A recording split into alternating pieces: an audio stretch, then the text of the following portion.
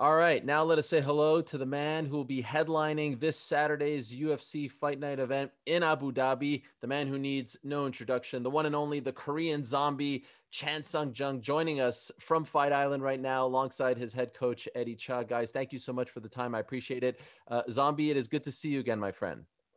Hi, how are you? Long see. Yes, and it's uh, it's good to see your English has improved as well. Um, and Eddie, thank you for the time as well. So uh, this is a great fight, and it's a fight that we've been talking about for almost a year now.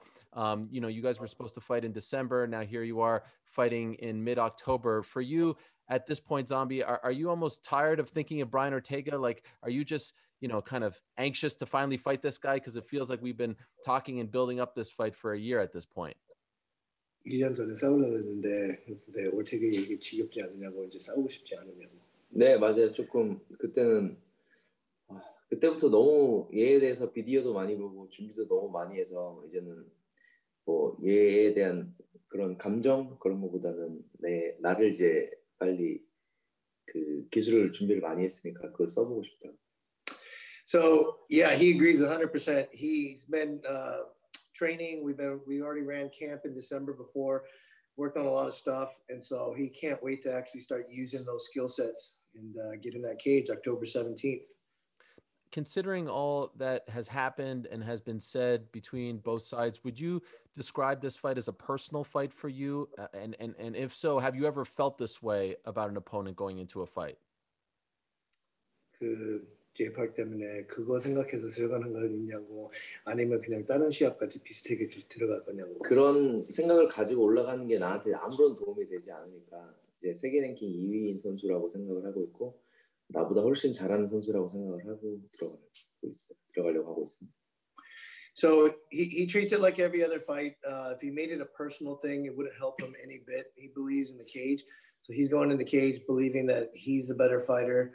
Or Ryan's a better fighter, and he's going to actually go in there and, and uh, just stay focused. It's all business for him. Okay. You know, I remember when we spoke, I think it was in January, and that's kind of when everything escalated with the interview with uh, our friend Jay Park, who was involved as well. Um, and then he responded, and then what happened in March happened. And I'm just wondering, and I know you've said afterwards, hey, you know, the trash talk, it's not really me, and I, and I don't want to do that. Uh, that's not who I am. Do you regret anything that you said about Brian that led to this bad blood? 네, 에리얼하고 1월 달에 얘기했을 때 왔다 갔다 씹어 가지고 이렇게 됐는데 후회하는 거 있냐고. 음, 네, 트래시 토킹에 대해서 조금 생각을 많이 다시 하고 있고, 음, 어쨌든 브라이언과 나의 싸움이 아니라 약간 다른 사람이 제이팍이라는 사람이 들어와서 그런 싸움이 돼버린 거에 대해서 좀 저는 좀 그거에 대해서 좀 후회스러워요. 그래서 다시는 안 하려고 하고 있습니다. So he, th- he thinks twice before trash talking a little bit, only because a third party got injured because of him uh, with Jay Park, and so he, he he doesn't like the trash talking too much right now at this point because because of Jay got hurt, you know. Mm-hmm. So 그리고 누가 절대 이걸 시켜서 하는 게 아닌데 이제 다들 그렇게 생각을 하는 것 같아서 내가 더 이상 할 수가 없다. Another thing is that everyone keeps thinking that someone's writing his stuff for him or telling him to say this and uh, and stuff like that. But uh, for that reason too, he just doesn't want to do it anymore because people don't believe him when he talk trash talks anyway. So to be clear, it is always you who's writing those things. Yeah, it's always been him. Okay. Um, by the way, any chance that that Jay will be in Abu Dhabi? I feel like if one person should be in attendance, it should be him. Like he, has been a, a, central figure in this in this feud. Is he going to be there? No, he's not. Um, I spoke with him when I was in Korea too, and asked him the same thing. I thought it'd be kind of special for him to come. And I know Brian's got a guy in his corner named Jay Park or Jason Park, which is Jay Park too. So that would have been kind of interesting to have two Jay Parks in the corner. but um, he wanted Zombie to literally just focus on the fight. He didn't want any uh, attention drawn towards him. Like I said, he's all business. It's just it's not just another fight because there's title cont- contention on the line. But um, he's going in there and just treating it like any other fight. He's he wants to stay focused. And Jay said the same thing. Said I don't, I don't want to be the center of attention or anything like that. So he's going to pass. And another thing, reason is he, he don't like to do quarantine. uh. um, if he were to come here when he goes back to Korea, he'd have to quarantine for two weeks, which uh, Zombie, his wife, and, and our other uh, coach is going to have to do. So that was pretty hard. I had to do that too when I went out there. Yeah, so I, I don't blame him for that. No doubt about it. Um, I, I just want to ask one more thing about because we haven't talked since uh, the incident in Las Vegas, I, I, and I know he reacted the way he did, um, Zombie did on on Instagram. But when, when you came back, I, guess the story was you went to the bathroom and then you found out that um, that Brian, you know, struck your friend Jay Park. When you came back and, and and found out about that, how did you react? And you know, were you thinking about going to do something and starting a, a bigger fight? I'm just curious to to get your side of the story.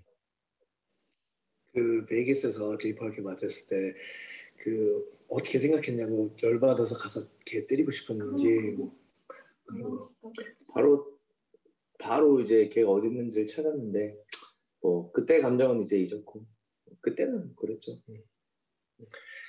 Um, so yeah, he he definitely he reacted the way he did on, on uh, that big old article that he wrote on his page and stuff like that. But uh, he doesn't really feel comfortable talking about that incident too too much. I mean, he wants to talk about the fight.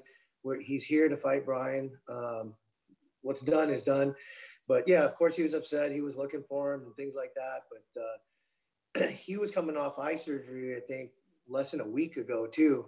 And so we we were real nervous about that too. Like hopefully nothing happened between the two of them because his eye was still he literally um, his eye had double vision like we talked about. One was up so the eight muscles in the eye, they cut two of them to actually bring it down to level it out. Wow. I mean, if you get touched in the eye, anything can happen. You know what I mean? he was less than a week um, week fresh from that surgery, and so that that was our big concern. And um, but yeah, I mean, it is what it is. Like I said, he he's super focused for this fight. He he wants to win. Uh, not because of Jay Parker, uh, it's just because it's the number three guy in the world. I respect so. that. I, I will uh, I will move on from the subject. I respect that you want to move on. Um, and and uh, I wanted to ask you about the eye. How is it? Are, are, there any limitations at this point? Any concerns about it whatsoever?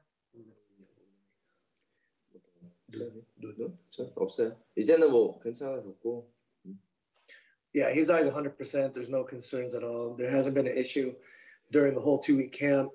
um, yeah, he's crystal sharp with that eye. Uh, he's been looking probably the best he's looked. He's we've gained a little bit of uh, muscle mass as well.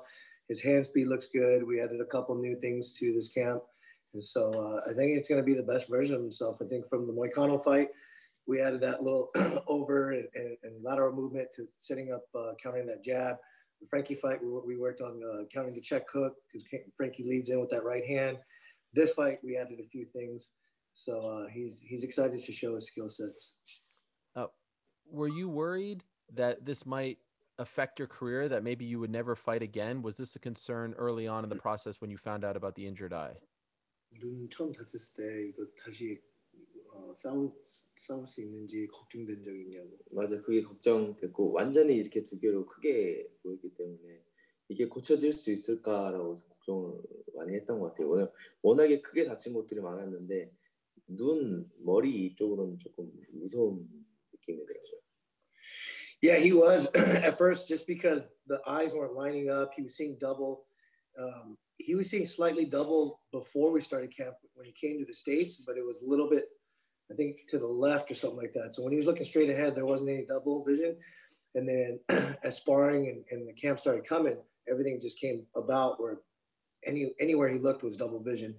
And so he was super scared. He had uh, numerous injuries, knee surgery, shoulder, wrist, broken orbitals, and things like that. And he's never been too worried about anything. But when it comes to the brain or neurological thing, he, he definitely uh, did strike a concern for his career. I, I, saw a clip online, and I don't know how old it is, but uh, you were on some sort of uh, talk show in, in, in South Korea, and uh, they they revealed that you you you teach yourself not to blink when you're training for fights because you don't want to blink in the fight and they were trying to make you blink by doing things to your face and you weren't blinking how long i don't know how old that clip was but how long have you been doing that and how hard is it not to actually blink in a fight 네, 선수들은 다안 까먹을걸요. 그냥 저는 굳이 연습하려고 한 게 아니라 스파링에서 이제 뭐 그렇게 생각하다 보니까 아마 UFC 선수들은 다안 안 까먹을 거예요. he he thinks that all UFC fighters or fighters in general don't blink. I, I don't know if that's necessarily true. that's not a normal thing. And we talked about it during this camp too with uh, some of our training partners. He's like, that kid does not blink when they're hitting him and stuff like that. Um, he's just dialed in when it comes to to uh, like tunnel vision when he spars. But uh, he, he says he hasn't practiced it really. It just comes somewhat natural from sparring and keeping his eyes open and, and staying, uh, keeping his eyes on the prize. But he doesn't practice it. So I'm not quite sure what the show said, but I do remember that clip as well. And uh, he's saying he doesn't practice it. He thinks everybody doesn't blink either. Okay, fair enough. Um, have the UFC told you or your management team, anyone surrounding you, that if you win this fight, you will get a title shot, that you'll be next for Alexander Volkanovski? 이거 이기면 타임샷 저기 누가 얘기한 적 있냐고 우리 팀한테. 음, 뭐 데이나도 인터뷰로 얘기했고 현실비도 뭐 그렇게 생각하고 있는 것 같고 그리고 누가 봐도 이 경기의 승자가 타이틀 도전할 수밖에 없는 것 도전할 사람이 없어. Uh, yeah, he was saying that Dana had an interview stating that whoever wins this fight will be the number one contender. I think Sean Shelby said it as well. And then uh, he believes that there's no way that it can't be a number one type, uh, contention title, whoever wins this fight. And so then I have to ask because after uh, Volkanovski's win over Max Holloway in July, on your now infamous Instagram page, you, you referred to him as a shameful champion, and, and you were not very uh, you were not very impressed with his performance. Uh, why why was that hard fought victory? Uh, I know a lot of people thought Holloway won, but it, it seems like Volkanovski kind of rubs you the wrong way as a champion. Why is that? 볼카novski 홀로웨이 싸웠을 때 네가 네 저기 페이지에서 좀 챔피언 챔피언이라고 그러고 왜 보세요 볼카novski가 마음에 안 드냐고. 오케이 더 이상 트리스토크는 안할 거지만 안 할 건데 근데 그 경기는 솔직히 할로웨이가 이겼다고 생각하고 있고 많은 팬들이 그렇게 생각하고 있고요. So he's not going to trash talk from here on out, like what he told you earlier, but he'll just leave it at he he thought the Holloway won. A lot of the fans thought that so as well, and so he said, "I'll leave it at that." Okay, fair. Okay, well then, can I just ask about the uh, the psychology behind the no more trash talk rule because it did bring him a lot of attention, right? I mean, obviously Zombie is one of the legends of the sport and people love him. Uh, the greatest MMA T-shirt of all time. He's now wearing a uh, a, a, new variation of that, but I love it. It's tremendous. Um, but why now? Like, why is it a full stop? No more criticism towards opponents or potential opponents. Is it because of what happened to Jay, and now that was a lesson learned? 이거 다 누가 시켰다고 생각을 하니까 사람들이 나는 뭐 그리고 내가 이걸 시켜서 한 게 아닌데 내가 이걸 함으로써 다른 사람이 피해를 봤으니까 좀 이런 경험이 있으니까 더 이상 하기 싫어진다고. 지금도 뭐 아리엘도 자꾸 제입하게 얘기하니까. so kind of kind of like earlier, he just said uh, first first and foremost, nobody believes that the trash talking is him, mm. um, and so and the second is that because you know one of his friends got hurt with Jay, and then the other thing is that. Uh, he goes, even you're asking constantly about it, the trash talking and uh, about Jay and stuff like that. So he just wants to kind of nip it at the butt. Um, but yeah, I mean, I, I, remember that uh, interview that we all did with Jay and stuff like that. We were talking about it. What he he wanted to say a few things in English and stuff like that. But that that was all him. And there's no perfect translation when it comes to I think any dialect in, in two different languages. Uh, if anything, uh, I think Jay downplayed it kind of. You know, he didn't make it more disrespectful when he said it in Korean when he was ducking him or running from him or something like that. And so, but yeah, for that reason, he's just kind of toning it down a little bit. Um, he's going to go back to his old ways of just staying silent and let his uh, hands do the talking.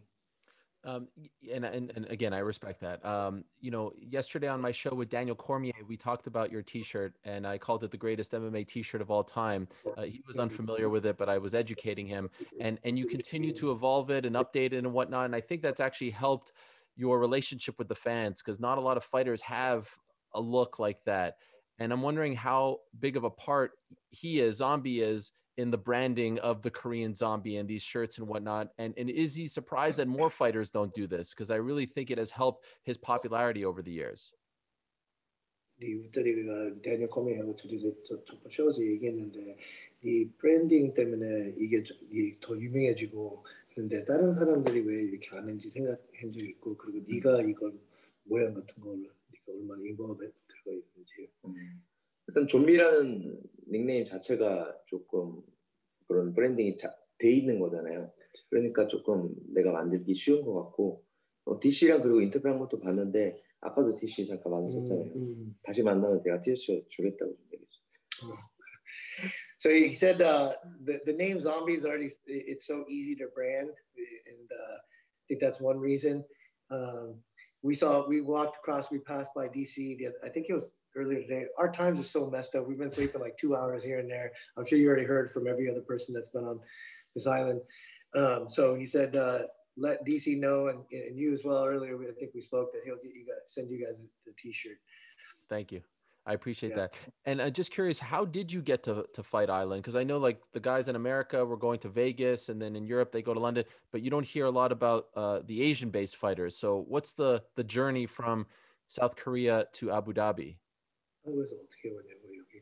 어 한국에서 뭐 그냥 다른 사람들은 저기 여기가 잉글랜드 가야 되고 뭐 여기 좀 베이거스로 가야 되고.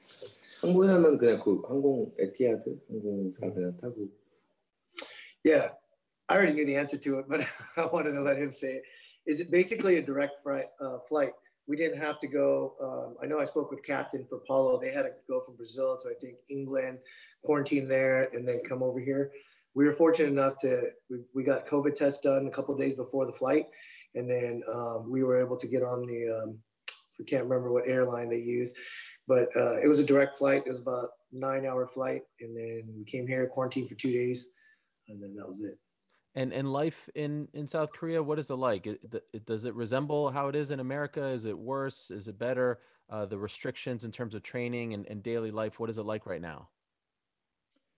Uh, I think everything's open. When I when I first got there two months ago, they took us from the airport, quarantined us for two weeks. So he would send us videos, uh, sparring videos, and, and uh, we were interacting that way. But um, at that time, the gyms were closed the minute I got out after two weeks, the gyms were starting to open up, but Zombie decided to keep his gym closed at that time just to focus on the fight. And so um, there was no one in the gym. We literally had the whole gym to ourselves, which was nice. And uh, they're under 100 cases a day, I believe. Corona, wow. how do I pick on the gym? Yeah, it's a under 100 cases a day. One of the things I, I, noticed what's different than the US, I don't know how they do it in Canada, but um, they have everybody has a QR code. It's like a like your social security number, whatever it may be on your phone. So any restaurant that you go to, you got to sign in the time, the date, and then you scan your code on the phone. So the government literally knows where you are at all times if you're going anywhere, and they won't let you in without it. And then so Wow. for us, for foreigners, we didn't have to do that. They just we wrote down theirs. But if anything has an outbreak, if somebody gets goes to the hospital a week later, whatever it may be, they'll go back to that list. And everybody that was on that list within an hour of vicinity of that area, they'll quarantine right away. They'll shut it down. Wow. And so they'll stop any outbreak, literally. Um, I thought that was pretty cool. Yeah, that is cool. Uh, other than Yeah. the government following you at all times, but I, I can Yeah. totally uh, understand why they would want to do that at this juncture. Uh, just a couple more questions before I let you go. I know you guys have to run, so I appreciate the time very much. Um, you know, at this point in your career, you might be, as you said, one fight away from fighting for the belt. I remember when you fought for the belt against Jose Aldo, feels like many, many moons ago. Took that fight on short notice after an injury and whatnot. What is the difference between this Chan Sung Jung and the one who fought Jose Aldo at UFC 163? 옛날에 조제아도 싸웠을 때 하고 지금 저기 하나만 싸우면 타이레 뜨니까 뭐가 틀리냐고 네가 그때는 이제 내가 신체적으로도 약간 뭐 고등학생 정도 어떤 것 같고 지금은 이제 그때랑 지금 몸이 엄청나게 많이 차이가 나고 있고 뭐 그때는 그리고 약간 막 싸우고 싶은 그런 욕 뭐 그런 걸로만 싸웠는데 지금은 이제 뭐 게임 플랜도 있고 뭐, 뭐 기- 스킬도 많이 늘었고 그리고 훌륭한 코치들도 많이 나한테 생겼고 모든 게 다 바뀌었어요. 그리고 멘탈적인 것도 내가 결혼도 하고 아기도 생기고 그러면서도 더 세진 것 같아요. So it's, night and day. He said that when he fought Aldo, he was like college student, you know, around that age. Um, his physique has gotten better, skill set's gotten better. Back in the days, his uh, mindset was just go out there and fight, and you know, no real game plan and so forth. Now he's got um, he, he got married, he's matured a little bit, uh, reason to fight for. He's got three kids. Uh, he's got better coaches. and I'm not, I'm not, I'm literally translating. sure, sure. No, it's okay. It's okay. He's got that. He's got a camp behind him. Um, we got game plans together. His physique is a lot better. He's just a complete night and day fighter. Well, it does seem like you guys have a really great partnership and uh, and I wanted to ask him, you know, why he feels like he works so well with you, Eddie. Um, it seemed like for a while he was trying to find that guy, the guru, the head coach, if you will, and now he's found him, and it's obviously led to great results. So, why, in his opinion, does he feel like this is working out so well between the two of you? 네 생각에 우리가 왜 잘 맞는지. 그냥 뭐 일단 스트라이킹 이거를 직접 배워본 사람들은 알 거라고 그냥 생, 아 이게 너무 많이 바뀌었는데 그렇죠. 라이선드 오른손도 세지고 왼손도 세지고 뭐 어떻게 각도도 앵글 뭐 그런 것도 만드는 것도 알고 스텝도 그렇고 그리고 날 다 바꿔줄 수 있게 바뀐. It's, it's kind of hard to explain. There's a lot of little little minor things and there's some big things, but um, like he we've increased his power or I've increased his power just on little tweaks and it's not necessarily me too. A lot of people give me credit, which is awesome, but like our strength and conditioning coach, Chad Ike, he put six pounds of muscle um, from where he was at last camp, like two weeks out. And uh, that really increased. Um, he talked about how I corrected some of his footwork, gauging distance and range. Um, what else did he say? Um, and he said most people will kind of see it if you've ever trained before, and then if you if we work together, that you would see you would notice little things, just little subtle things. Um, but yeah, it's kind of hard to translate because he's trying to toot my horn, and yeah, it sounds like you. I'm trying to toot my own. You no, know what I, mean? I understand. But uh, but yeah, he says it's just a lot of little minor things, and then the bigger things. Um, but it, it's completely changed his whole game. Okay. And final question, and I promise this isn't a trash talk question, but I did see an interview with you, Eddie, where you predicted a knockout, correct? Um, and uh, I just wanted yeah, to know, probably. and I just wanted to know if he agreed that that you know the prediction will be knockout on Saturday or Sunday morning. Over 내가 내가 어제 인터뷰에서 내 생각에는 knockout 될 거라고, 네 생각에는 어떻게 될 거냐고. 음, 나도 저희 나도 이건 트레이스 토크가 아니고. 올테가가 할로윈한테 300대를 맞았어요. 300대 300대를 맞는 동안 너카웃이 안 나왔다는 거는 음. 되게 친이 되게 좋다는 생각이거든요. 음. 그거를 내가 막 굳이 막 깨려고 하고 싶지 않다고 음. 나도 300대를 똑같이 때리고 싶다는. So he said, I'm not going to trash talk either, but when Holloway fought Ortega, he hit him about 300 times, and he said that about five times in a row too. So he's really uh, making a statement. But uh, hit him hit about 300 times, which gives him the conclusion that he's got a really good chin. So he's not trying to go for knockouts or anything like that, but he wants to hit him about 300 times as well. We'll leave it at that. Zombie, thank you so much. Good luck to you this weekend. Eddie, thank you so much as well. Good luck to you guys. Can't wait for the fight. Thank you, Aaron. Thank you, brother. Thanks for watching ESPN on YouTube. For live streaming sports and premium content, subscribe to ESPN Plus.